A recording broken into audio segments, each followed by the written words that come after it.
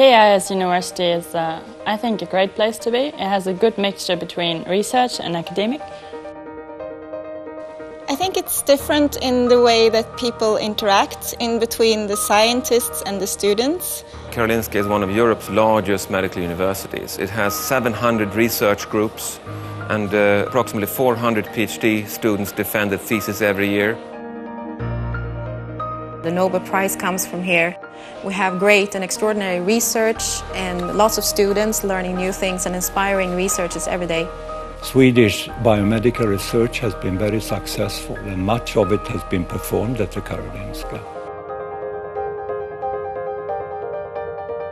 My overall impression of Sweden and Stockholm is that it's a very open city. Well, it's a beautiful city.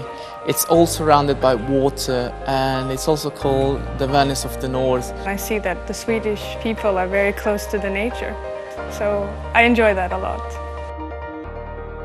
In my previous experiences, it has been like the scientists work here and the student work here, and now it's sort of connected, which is very nice. You get this feeling of really medicine research in, in the air. So it's really fun, really laid back, really nice people, a lot of fika, so, uh, you know, which happens to be coffee breaks every 45 minutes, but it's cool.